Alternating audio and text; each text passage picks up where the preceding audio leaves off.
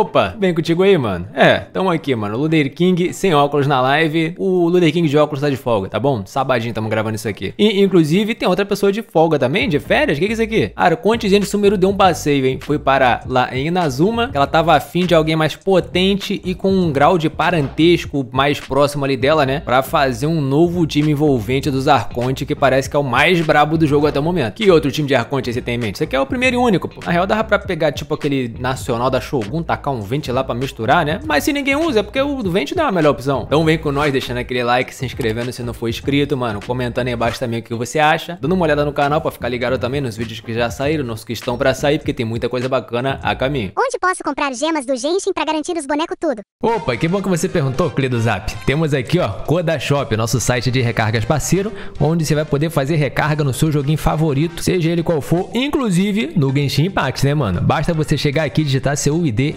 escolher sua região do servidor e selecionar se você quer recarregar gemas ou a benção da lua. Daí é só inserir a sua forma de pagamento e tá lá, moleque. É aqui que você vai conseguir recarregar suas gemas com praticidade, segurança e sem pagar taxa extra. E lembrando também que a primeira recarga que você faz na sua conta do Genshin, você ganha o dobro de gemas, parceiro. Link na descrição, vem com a gente. Agora vem junto, mano. Objetivo: misturar a baixinha verde com a grandona aqui do choque maluco. E vazou uma lança ali, mano. Mas se lembra como a gente apresentou na rida pra vocês aqui no canal, né? Assim que chegou no banner do jogo, já tava aqui o vídeo no canal, vocês estão ligados. A gente apresentou, né, a compzinha que eu achei a mais maluca, doida e danuda, que é de explodir semente, famoso super florescimento, né? Marca um bicho com a anarrida ali pra ter dentro, com uma aguinha junto ali, né? O bicho gera semente, aí vinha um eletro e pimba.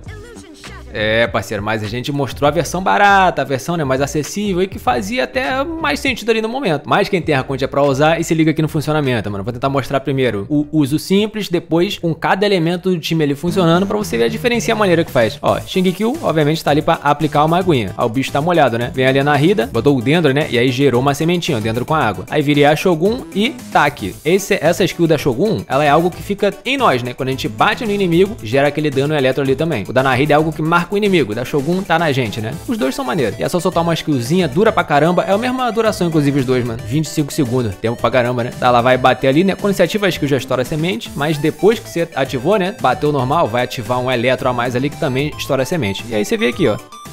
Ele Aí vai o daninho extra, né? 30kzinho. Isso é algo que vai acontecendo ali com uma bela frequência, pô. Além dos outros danos que vai rolando também, né? Já que tem inclusive o nosso menino Shingekyo ali, a galera já conhece a potência dele. Mas anota aí, pô. 30.642. Agora aqui, vamos melhorar isso aí, né? Com uma outra parte do combo aqui que esse time faz, mano. Que, né? Além de gerar a sementinha, vai estar tá com a Catedral da Narida ativada. Eu chamo de Catedral, acho mais, mais legal, né, mano? É um nome gigante. Aí estourou o bicho já zerando uma sementinha com elas. E, tão ligado que a ult da Narida pega a proficiência do membro do time que tem maior proficiência e passa, né, 25% disso pro personagem ativo, no caso a Shogunzinha, né, que vai estar tá estourando sementes.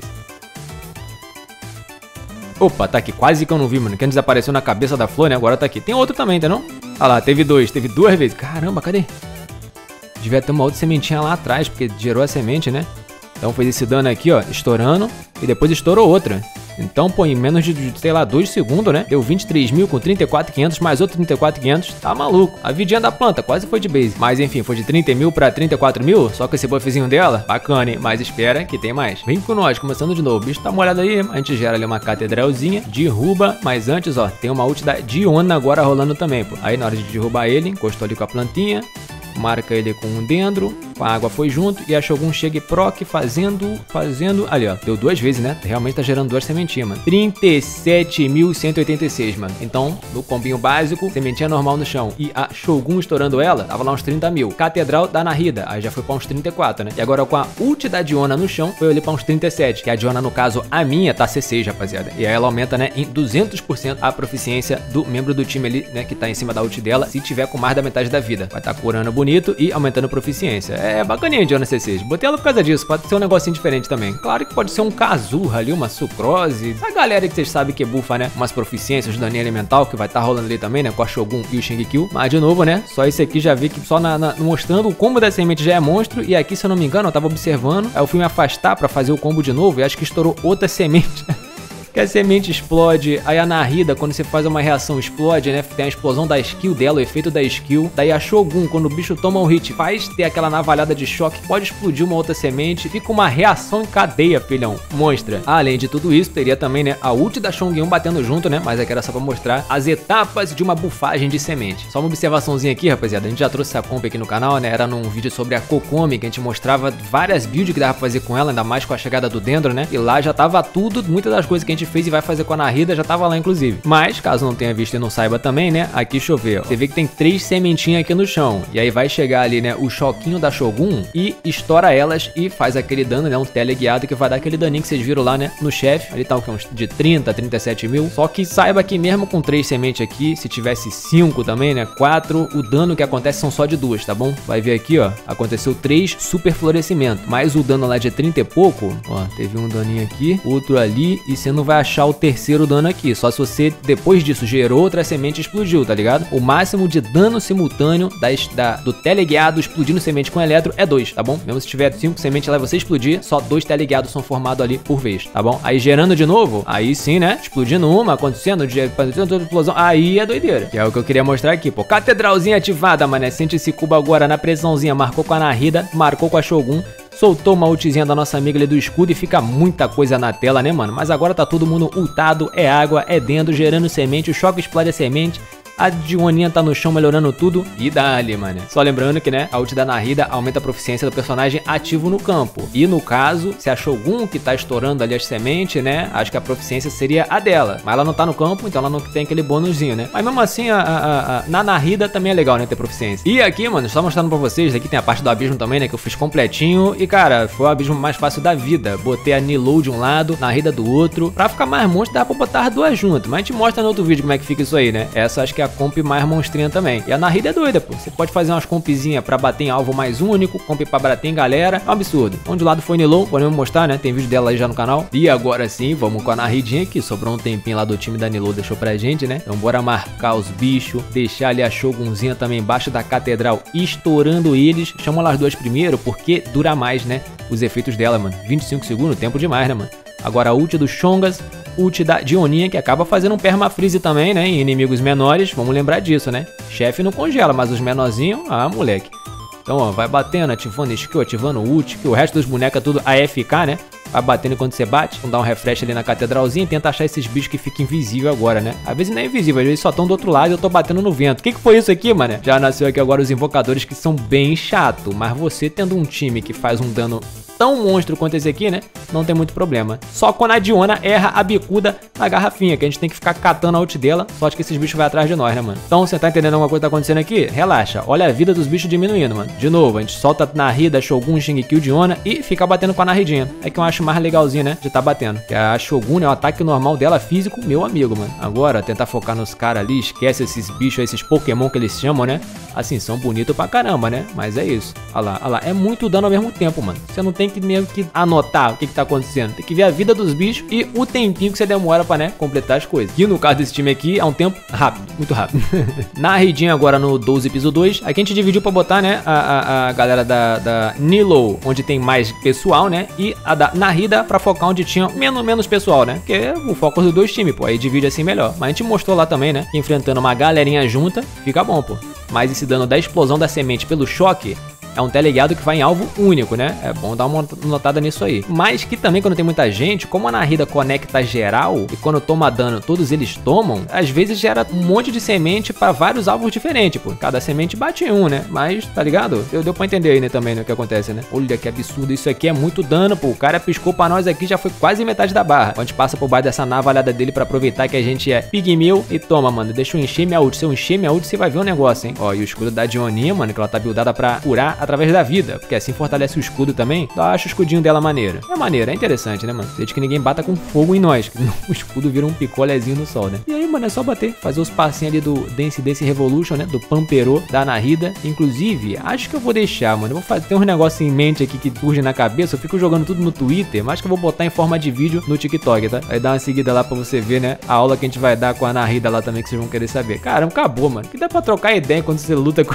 tá maluco. É monstro, é monstro. Aí, Haikyuu33 só mandando a retrospectiva aqui, né? Que continuamos com aquele time aqui, Danilo aqui mesmo, mano. E no outro lado, nosso bonde. E eu ia falar que tava sem ult, mas encheu aqui o da Shogun, do Shingekyo agora também, né? Então toma, meu garoto. Nosso querido Enigma do Milênio Doretão. A gente já amassa ele no mundo externo, né? E no abismo ele é mais apelão, mais tanque. Mas com a Narida nem sente essa diferença. A vida dele dissolve com a mesma forma, mano. Com a ajuda da rapaziada, né, mano? Daqui a pouco a gente mostra as builds ali, você vê. Não tem quase nada demais não, né? Mas tem a moralzinha, pô. Olha os danos de água, por exemplo, do Shingekyo, né? Que é, é um danudinho maneiro. Só que, né? Não é ele que tá carregando, tá ligado? O negócio é a explosão, os danos da Narida também, né? Ela fornece ali seus 20, 30 mil no, na explosãozinha da skill. E a Jonah tá lá pra curar nós, que, né? O bicho nem encosta na gente, pô. Eita, moleque, mais uma catedralzinha. Vem cá, Doritão do Milênio. Para de chamar broca pra baixo de nós aqui, pô. A Diona vai dando conta aqui na cura. Vem com a gente, pô. Aqui, ó, batendo mais um. Eita, rapaz, chamou o negócio, vai ficar invisível. Temos que achar ele agora, mas ele tava longe. Mesmo assim, tomou, porque a Narida, a Narida persegue o bicho até invisível, pô. Se você acertar esse bicho invisível com Eletro e Dendro, ele aparece e fica desmaiadinho. E adivinha o que que persegue ele? A Narida. E quando a Narida dá o dano nele, a Shogun ativa e dá o Eletro. Aí, né?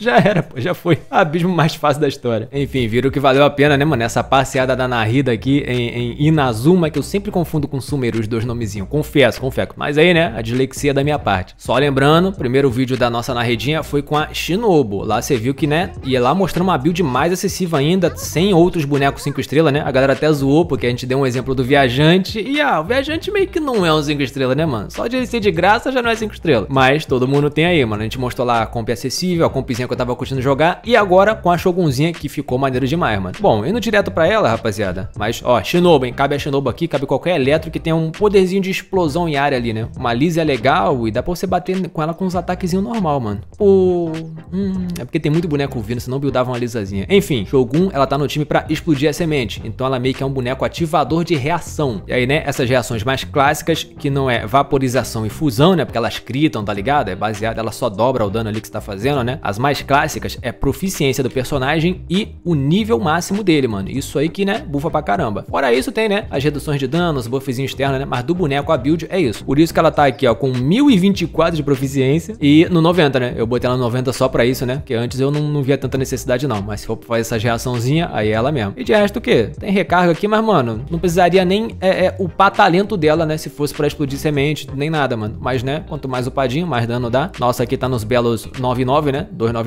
mas é só o eletro, a skill dela que você solta, e aí quando você bate no inimigo, vai ativar o efeito da skill dela, dando um cortezão bonito ali da Tramontina de choque, né? Se tiver semente perto, vai explodir ela também. Pra isso, temos aqui uma arminha de, né, proficiência, mano. Inclusive, aumenta dano do inimigo afetado por Hydro na hora ali, né? Se o Shingekyo tiver molhado o bicho e não tiver saído a aura de aguinha dele, tem até um daninho extra. E aqui sim, você vem com nós que ela tá com sonhos e trupe. O ideal para dar mais proficiência ainda era quatro sonhos, porque ela é o único eletro no time, então as quatro peças do artefato aqui, né, dos sonhos nela, vai fazer com que ela ganhe 230 de proficiência, ao invés dos 160 que eu botei aqui, né, com dois artefatos diferentes. Mas é que eu não conseguia, não tinha peça aqui pra fechar quatro nela. Mas, né, quem você quer o máximo de proficiência, sonhos dourados é a parada. Mas a minha, eu tentei só buscar proficiência em cada peça que dava, mano. Essa aqui tem um cadinho também, ali vai um cadinho também. De resto, ela nem precisava de muito, não. Mas, né, se quiser fechar um pouquinho de taxa, né, de, de, de dano ali embaixo, pra esses slash dela, né, mano, esses cortezão bolado funcionar. Mas é bacana, mano. O negócio é proficiência, nível e dali. É constelação, nunca tive, talento mostramos e é isso. A narridinha era o mesmo do, do vídeo padrão dela, mano, tá bom? Tá no mesmo esquema aí, se quiser, não sei, pausar pra ver, mas a gente mostrou legal lá no vídeo, né, explicando cada escolha nossa, as builds que ela tava, tá ligado? Virando aí, né, o chefe semanal pra gente poder upar mais, a gente vai upar mais. Shinkill tá com 1500 de ataque, ele tá meio que normalzinho pra, né, usar ult, dar dano, 50, 106, 231 de recarga, né, pra ter a ult dele com a frequência boa. Tamo aqui, ó, com um pouquinho de sacrifícios e aqui, né, com ritual real pra, né, mais dano naquela ultimatezinha dele e dano de água.